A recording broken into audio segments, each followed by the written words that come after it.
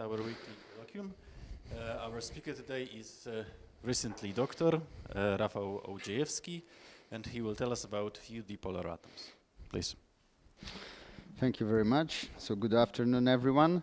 As I am going uh, to my postdoc in Munich uh, in one month, I just want to recap some work I have done here under supervision of Professor Rzężewski and Dr. Pawłowski, just to recap in more detailed way some the most important from my point of view uh, topics from my PhD thesis. And without any further ado, I want to explain you the title of my presentation, but firstly, let me introduce the background uh, we have when studying cold atoms. So first of all, ultra cold means that we really work at very low temperatures. And typically, when we study the ultra cold gas, we have temperatures lower than one microkelvin. And also, our system is very dilute that we still can have a gas or a liquid in our system. And if we have such conditions in our system, it means that we enter the realm of quantum mechanics, where we cannot perceive our atoms are billiard balls as in classical systems, and instead we have to deal with waves, and also we cannot say that we can distinguish between different particles They are indistinguishable, which means that we introduce quantum statistics in our system, so our particles can be bosons or fermions or sometimes also anyons. And this, all of these introduce a kind of nasty scaling of quantum problems, meaning uh, namely exponential scaling of quantum problems, our phase space scales exponentially with a number of particles instead of linear scaling of the phase space in, quantum, in classical mechanics. This, of course, makes uh, many body problems much more harder than in a classical world. However, in ultra-cold atoms, we are, our atoms are very slow because we have very ultra-low temperatures. This means that, in fact, we are interested only in a single quantum state, usually, and usually it is a ground state or some few lowest excitations of our system, which simplifies the analysis.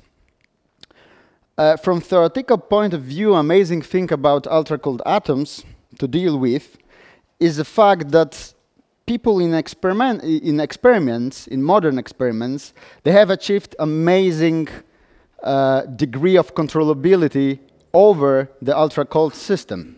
Namely, they can control the number of particles in a system in a precise way, so they can really have two, three, 1,000 on 1 million particles in their system.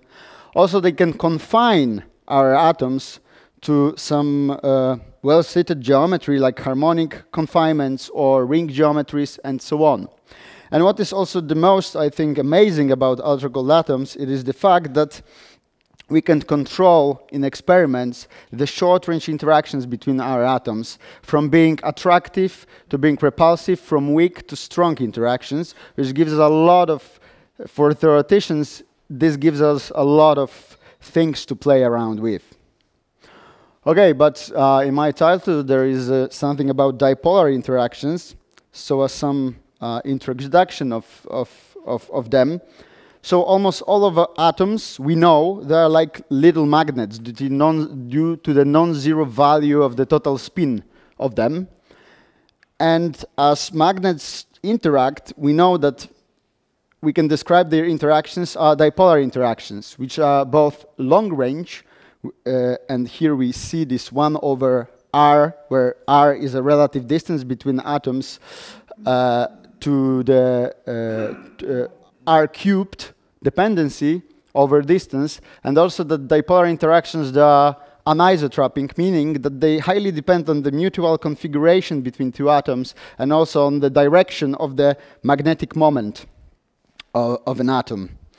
Uh, the most, uh, the most known, the, the most extreme examples of how what, what anisotropic means is that we can imagine two opposite configuration in one, we have head-to-tail configuration when the dipolar interaction is attractive versus side-by-side -side configuration where the dipolar interaction is repulsive. Um, okay, so why dipolar interactions are interesting and why now they are interesting. First of all, as I mentioned before, almost all atoms are like little magnets. But not, of them are, not all of them are strong enough to really take into account dipolar interactions in our system. However, recently it was possible to experimentally control system with, uh, with elements with a high magnetic moment like chromium, erbium, and dysprosium, where the magnetic moment of such elements is between 6 to 10 Bohr magneton, and this gives you uh, two orders of magnitude uh, stronger interactions that in the case of the rubidium atoms or the alkali atoms uh, for which the first condensations were obtained. So for such, for such elements, one cannot really neglect the dipolar interactions and also it is possible to make them even the dominant interaction in our system, so we cannot neglect them anymore, like in the old days. Also, for such elements, people already have predicted some, some new exotic state of matter. Uh, matter. Uh, for example, supersolidity, when we have at the same time the superfluidity in our system, and also a crystalline order. So we have both crystal and superfluid. And also the quantum droplet, which is a droplet very similar to a drop of water uh, we are all used to. But uh, in this fact, the, the, stabilization mechanism is different because it is due to quantum fluctuations. And also the quantum droplet is much more dilute than a normal droplet of water, for example. Okay, but uh, in my talk, I want to study all of these phenomena, also supersolidity and quantum droplet, from the few body perspective, and why this is uh, why this is nice thing to do. First of all, we are interested, as we have uh, quite strong dipolar interactions, in the situation that we have strongly correlated systems. For that, we need more accurate uh, description than the usual mean field theory. The usual mean field theory for bosons, ultra-cold bosons, assumes that our system that the, that the many-body wave function of our system is a product state. So we assume that all the bosons occupy a single particle orbital. And for that assumption, people were able to really predict a lot of stuff in the Bose-Einstein condensates and so on. But when we want to study stronger interactions, that in the previous cases, we need a different description. That's why we have to start with relatively small systems rather than big one because of the quantum scaling of our problems. Also, we have amazing developments of optical lattices in ultra-cold gases, which means that in a single side of optical lattice, people are able right now to trap from 2 to 10, 15 atoms, something like that, and they are interested really in a few body physics or 20 body physics or something like that. So this is also, for, from experimental point of view, an important thing. As I mentioned before, dipolar interactions, they are both anisotropic and long range. And I want to focus of, on two of these properties of dipolar interactions separately. So first of all, let me start with uh, anisotropy of dipolar interaction. So we can imagine a very simple model. We have two atoms uh, with some magnetic moment, and we put them into a spherical harmonic trap in three-dimensional spherical harmonic trap. And on the short range, our atoms, they repel uh, each other. They are identical particles, so this, is, this model is also, uh, this is both for bosons and fermions. And initially, when we have two-body problem in three dimension, we have, uh, this is in fact six-dimensional problem, but we can reduce it neatly using the following facts. First of all, in the harmonic trapping, we can separate the center of mass motion and the relative motion. The center of mass motion in this case is given just by the quantum harmonic oscillator, which we all, which we all are familiar with.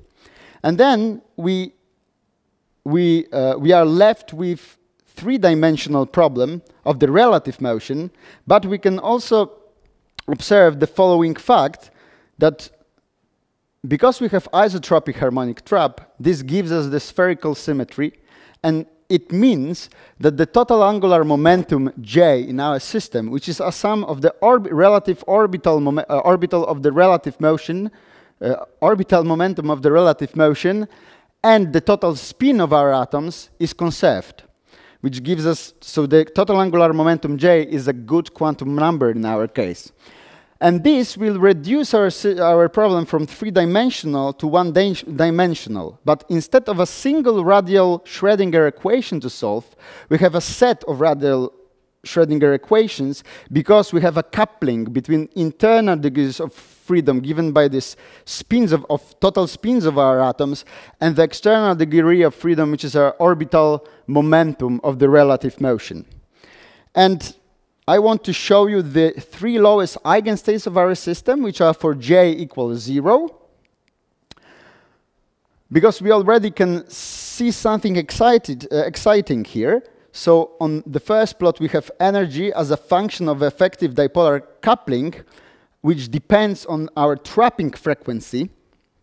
In fact, and what we can obtain, uh, what we can observe it is that when we increase our effective dipolar coupling, we can observe anti-crossings in the energy between energy levels, and this is also correspond. Uh, this is also accompanied by the change in the expectation value of the orbital of the squared orbital uh, momentum operator, and as we can see as we change our GDD, so this effective dipolar coupling, we see that for the ground state, there is a change in, in, this expectation value.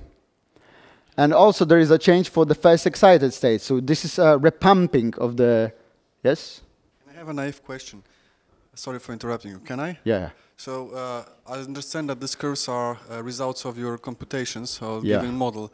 Uh, so does the, the, what's the reason there's absolutely no scatter here, no error bars, there's no uh, no uh, no uh, any inaccuracy? Does it just all exact solutions? Yeah, this is an exact solution, just and numerical they don't depend one. on initial conditions whatsoever. Well, you don't. You have once you fix initial conditions, the, the results will be always the same. Yeah. Okay. Thanks. Yeah, so once again, I, I want to repeat that we observe here that for the ground state, as we, as we squeeze our trap, we observe the possibility of adiabatically pumping our system from the S wave relative motion, meaning that this expectation value is equal to zero, to the D wave relative motion, meaning that this expectation value is equal to two. What does it mean? It means that initially we have no rotation of the relative motion in our system. But as we squeeze our, our trap, then these two atoms, they start rotating. However, we have spherical symmetry, so this rotation is around any axis in around any axis in any possible direction. And to see this rotation, you, you can only do that by turning off your trap and looking at the azimuthal, uh, azimuthal part of your velocity. So this would be an experiment to really trace this rotation in your system. Because when, yeah. So uh, this is like infinitely slowly squeezing. So this is an adiabatic process. Ah, yeah, yeah, distance between, exactly. But I, I, I don't remember the exact numbers. Yeah, but this is a good scale. Yeah, so and this, this effect really reminds the classical Einstein-de Haas effect. I just want to remind you this effect, maybe you are not familiar with, with it. So imagine this is a very uh, simple scheme. So we have a ferromagnetic probe, which is attached to some string and suspended in the air. We put our probe in an external magnetic field. And then we abruptly, abruptly change the direction of the magnetic field, and the ferromagnetic probe starts rotating. And this is one more time the effect of uh, angular moment, total angular momentum conservation. and also this coupling between the external orbital momentum of our system and internal states of our atoms, internal spin states of our atoms. So here, in fact, we have an analog of that, but only for two, quantum mechanical analog and only for two atoms, but very similar in fact. Okay, so this is something I wanted to tell about anisotropy. Then uh, let me proceed with uh, local versus non-local battles in the dipolar systems. And for that, I'm going to consider n bosons moving in a ring trap. So imagine we have exactly n bosons. And in such system, we can observe that once again we have rotational symmetry. This once again gives us total angular momentum conservation. Total angular momentum here is denoted as a, a capital K. And this is a nice system, not, not, uh, not only because we have the conservation, uh, uh, conservation of the total angular momentum, but also because for the situation when we have only contact interactions in our system, both uh, attractive or repulsive, we have exactly solvable model, the Lieb-Liniger model, for which all possible things were calculated in, uh, in early 60s. And I want to present you this solution because it is quite important for the uh, next part of my talk. So here I present the uh, solutions for the rep repulsive interaction. So we have repulsive contact interaction. And we see the spectrum as a function of the total angular momentum divided by number of particles. And what Lieb and Liniger they observed was the following, that all possible quantum states in, in this system can be constructed only by using states from two elementary branches, uh, two branches of elementary excitations. And they divided their excitations into type 1 excitation and type 2 excitation. Type 1 excitation, they were immediately uh, uh, identified as a Bogolyubov excitations, so quasi-particle excitations. But type 2 excitations, they were then studied as a collective excitations in our system. We also see that the type 2 excitations are the, the, are excitations with the lowest energy for a given total angular momentum in our system. Par a particularly beautiful interpretation of these two, um, these two branches of elementary exci excitations can be found uh, in the limit of non-interacting gas. So for non-interacting gas moving on a ring, it is a very easy and all, all of us can solve it on the piece of paper. But the important thing is that type that in particular we can see that there are two elementary ways of exciting our system on of imparting to our system a total momentum capital K. The first one is just simply taking one particle and then kicking it with whole capital K angular momentum. And the dispersion relation in this case is quadratic, as we know from high school for free particle. So once again, this is a single particle excitation branch. However, we can, we can proceed in a more optimal way, and we can take exactly capital K atoms, and then excite them only by a single quanta of angular momentum, and then our dispersion relation is linear in energy. So this is a collective branch. So type 1 excitation, these are single particle excitations. Type 2 excitations, there are collective excitation. And it also holds for um, for interacting system, but it is, it is harder to show on your fingers that this is the case. Okay, so I want to study further Bogolyubov spectrum, so this type 1 excitation in the Lieb-Liniger model. And this excitation spectrum is given by very simple formula where this V thought this, uh, in, uh, this uh, effective interaction potential in the momentum space.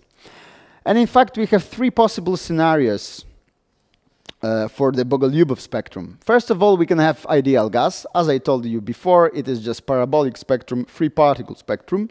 Then we can have contact interaction for which V of k is a constant. where G is the strength of contact interactions. And for that, for small k, we have a linear dependency and then parabolic dependency of free particles. However, for dipolar gases in 1D and 2D, it is possible to show that our Bogolyubov spectrum, excitation spectrum, may look, may develop a local minimum for a finite uh, value of momentum, which is called the roton and it is, it is related to the theory of superfluid helium, but uh, I am not uh, I am not going to talk about uh, that. But the following question was, we were interested in this ring geometry. And we wanted to have dipoles instead of just contact interacting particles. We knew that for the Liebling we have two type of excitations. Then Bogolyubov is given, uh, Bogolyubov uh, spectrum is given by a linear part and then quadratic one. Our question was, so if it is possible for dipolar interactions to develop the Roton minimum in the Bogolyubov spectrum, maybe it is possible to to change, to swap these two types of excitations and having the, the Roton excitation as the lowest uh, eigenstates for a given total momentum, which is also called the yrast state. Also, as we were able to study this from a few body, many body perspective, we also ha had an access to many body wave function of the roton, so we were also interested in answering the question how the many body wave function of roton looks like. And for that, let me introduce a very simple model. So we have dipoles moving on a ring, and they are polarized in a way that they are in side-by-side -side configuration, so they repel each other. Also, in fact, when we deal with dipolar interactions, we have to take into account not a really 1D scenario, but a rather quasi 1D scenario. So we have uh, two transverse dimensions uh, in which the motion is highly constrained, but we introduce uh, some squeezing parameter, which is some aspect ratio parameter, which which tells us how how squeezed uh, are these transverse degrees of freedom. And then we can study the uh, excitation spectrum of our system using the exact diagonalization. So we have the Hamiltonian, and we are looking for eigenstates of our system. And initially, we can assume that we do not have any short-range interaction, because as I told you before, in ultra-cold gases, we can turn, in, turn on and turn off our short-range interactions, and so on. So, yeah, our potential in this case for, for, for, for, uh, for our atoms, our dipolar potential, it is quasi 1D, and it looks something like that in the momentum space, what is important is that our total potential uh, have this dependency which allows in, in general to develop the Roton minimum. So we calculated the spectrum as a function of the total momentum in our system. So these squares and circles, these are obtained by our exact diagonalization scheme. scheme. And these are the lowest eigenstates for a given total momentum value, and we compare them with Bogolyubov approximation. And as we can see, at some point, we, we see the departure between the Roton excitation, uh, between, the, uh, between the exact solution and the Bogolyubov uh, calculations. However, if we introduce to our system a short-range attraction, and also change the aspect ratio in our system, it is possible to gradually change the shape of our spectrum. Namely, we can, we can show that for some values of parameters, short-range parameters and the aspect ratio, we can have the yrast spectrum which have this Roton minimum. So we can obtain, uh, observe the change of the state. And right now we also see that our Bogolyubov spectrum follows the exact solutions. So we wanted to study this change between this uh, black point and red point uh, in, in, in a more detailed way. And first of all, we calculated the single particle momentum distribution for our state, uh, for our black dot state and red dot state. And here we can look at the, this blue line For the black, black point state, we see that there is no local maxima in our single particle momentum distribution. This means that our excitation, this excitation is collective. However, if we calculate this for rotonic states, so for the red point here, we see that it develops the uh, local maximum in the single particle momentum distribution, meaning that really this excitation right now uh, became something more like single particle excitation. So the character of the lowest branch of our excitations was changed. Also, when we want to characterize this state further, we can observe that in a single shot measurement, the roton appear as a spatially localized excitation, meaning that our atoms will be divided into several groups, and the number of these groups is related to the roton uh, momentum. So in a single shot, we, we see something like crystal, something of spatial ordering. And it can be shown also that when someone manipulates with the parameters further and obtain the situation that our roton minimum touches the ground state energy, that the roton becomes uh, the ground state, the metastable state, it is in fact the supersolid because we have crystalline ordering and also some flow in our system, which is in fact the superfluid flow in this case. Okay, so different scenario to consider is that we have different polarization of our dipolar atoms, and we put them into the head-to-tail configuration, where the dipolar interactions are purely attractive, and we introduce some repulsion on the short ranges. So we change basically in, in this problem, we change the polarization of our dipoles from side to by side to head to tail around polarization, yeah, you can really polarize them in at any angle you you wish. Uh, these are extreme. yeah, yeah, using magnetic field. So here we have some. Yeah. Yeah. So in this case, our dipolar uh, interaction in uh, in um, uh, in in space looks something like that. Once again, we have this one over x cube dependence for long distances which is something uh, natural for dipolar interactions. And also for short range, we have a finite value for zero because of the fact that it is a quasi 1D uh, situation.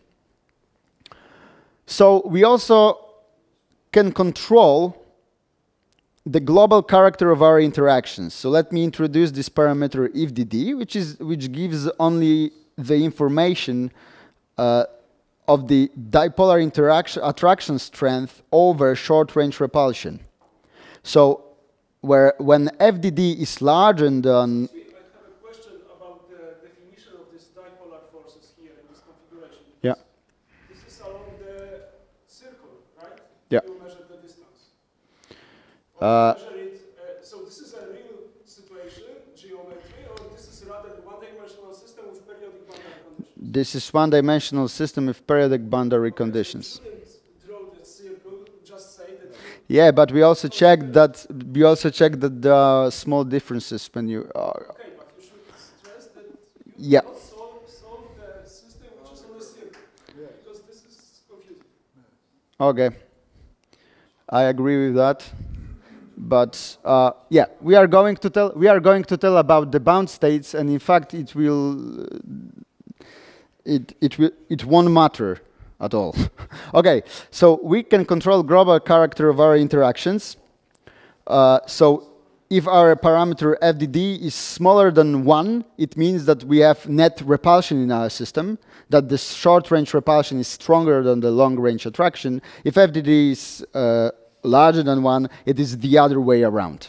So we can control the net character of our interactions. Uh, we can people people also uh, showed that in the case where we have attraction being dominant in our system, in fact, it is easy to imagine that we that the bound state is possible in our system.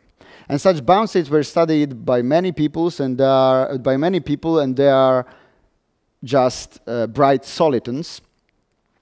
but we are interested in different question. So imagine that we have net repulsion in our system. And the simple question is, is it possible to have a bound state for a repulsion? for a net repulsion because we have different scales of our interactions. So we have short range repulsion but long range attraction. Is it possible to have a bound state? So imagine that our, we, we can control the strength of our overall interaction in the system.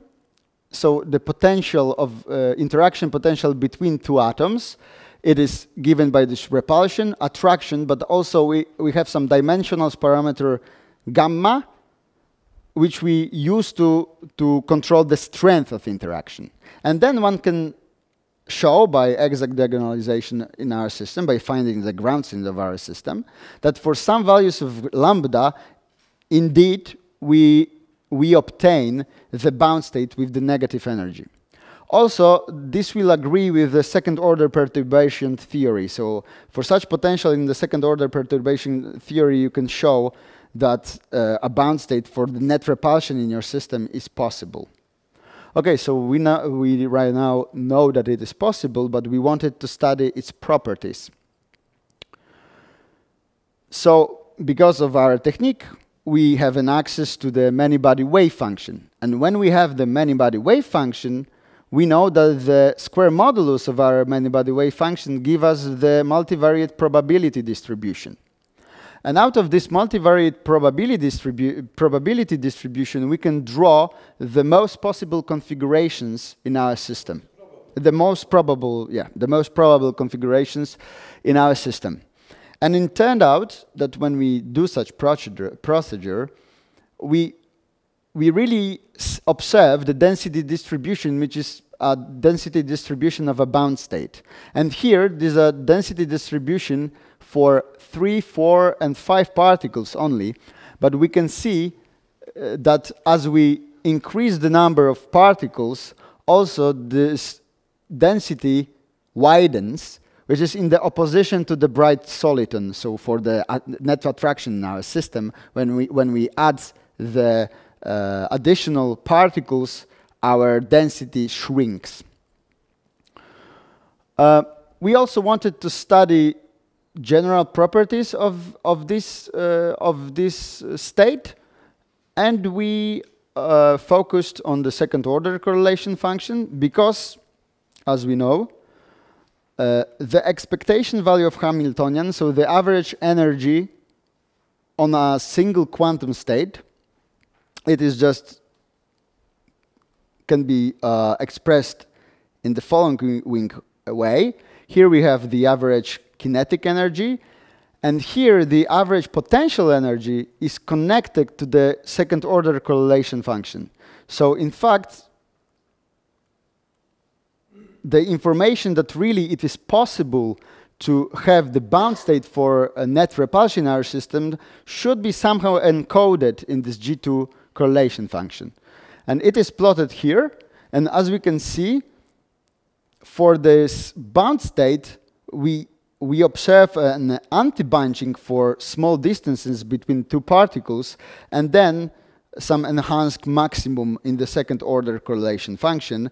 But as we see, this anti-bunching range is much uh, is much lower than the characteristic length of dipolar interactions given by this sigma parameter.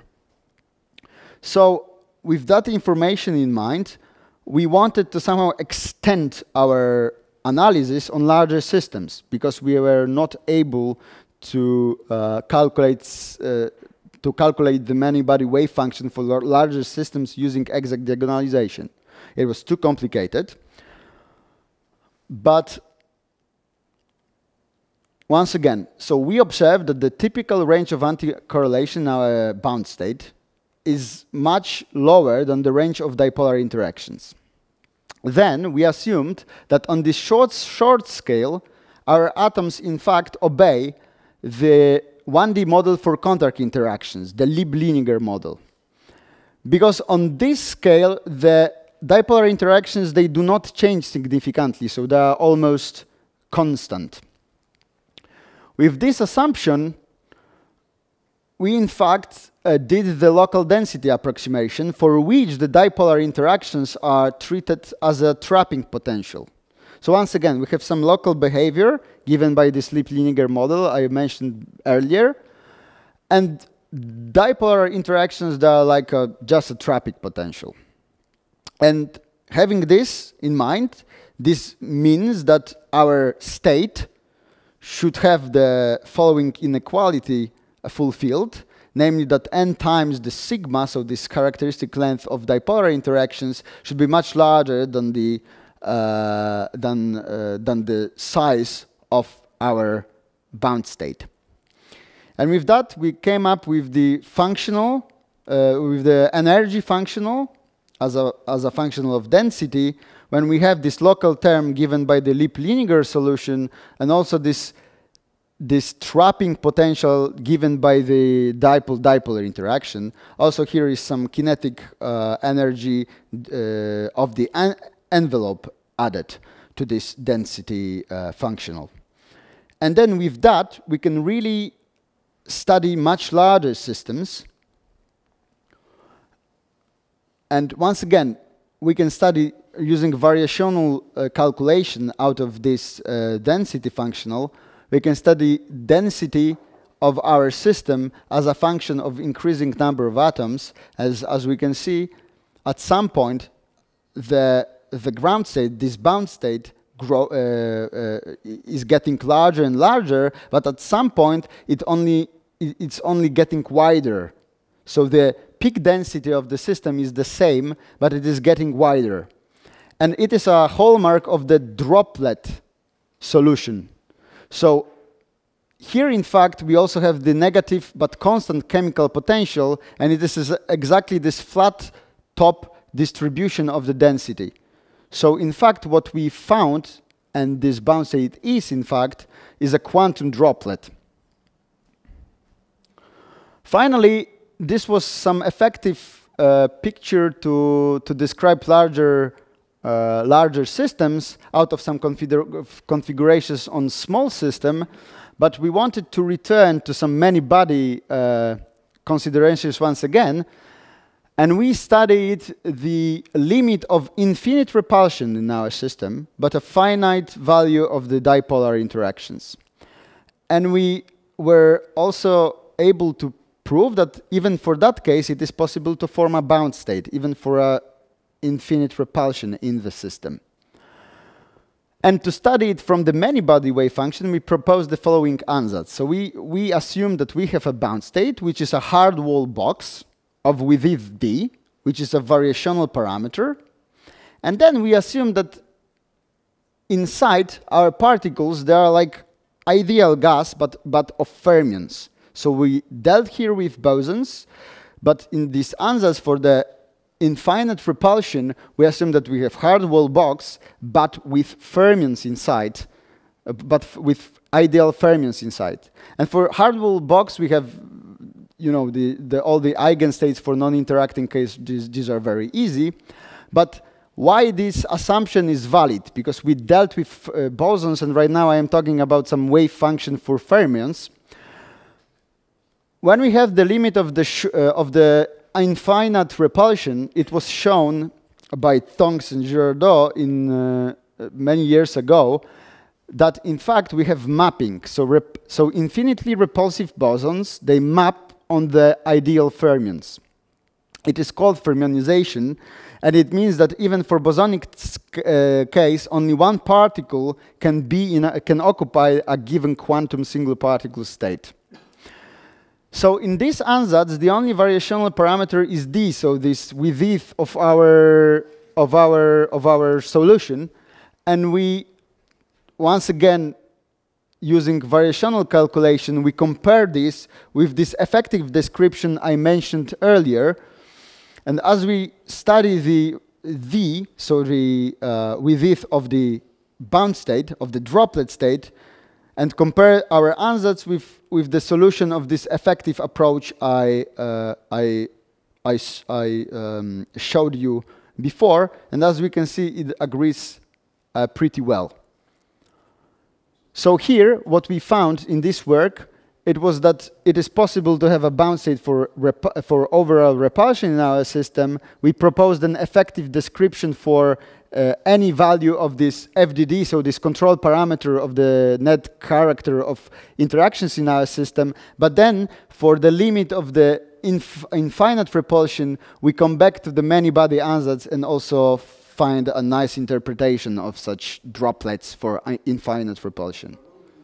would be the impact of the squeezing parameter. Um, sig- Sigma is the squeezing, right? On the, like, if I recall, of the, of the extra degrees of freedom. of the- Uh, uh, once again? The sigma. Ah, sigma only. Uh, sorry. So.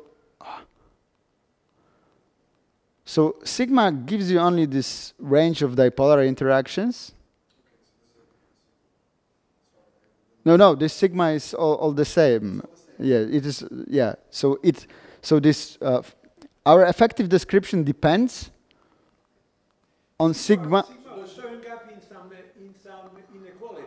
Yes, here. Yeah, this is inequality for our effective uh, approach to be valid. Yes, and this sigma means really this range of dipolar interactions. Sigma, uh, sigma is not a free parameter. Yeah, so with all of that, I want to end, and I'm uh, looking forward for your questions. Thank you very much.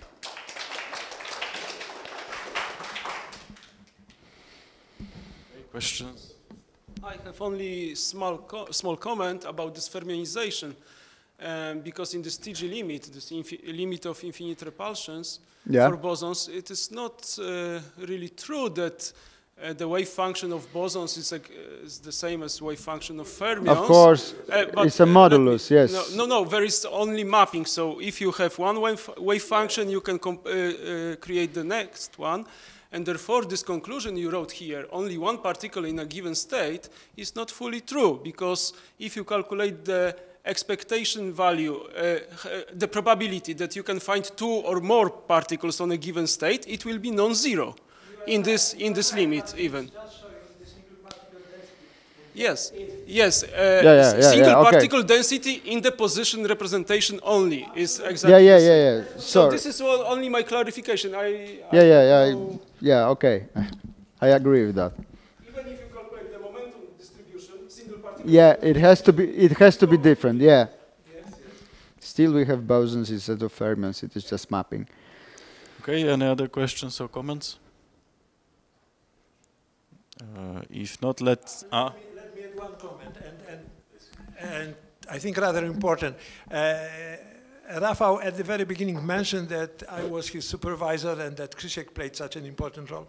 I think we should also mention Ah, yeah, yeah. I'm sorry. Uh, yeah. who was really a co-worker and Yeah, a very as- active one on most As you of this probably saw in all of this work I presented here, it was also with Wojtek, which is pr- uh, who is present here, and I also want to thank him. So, yeah, he was very involved.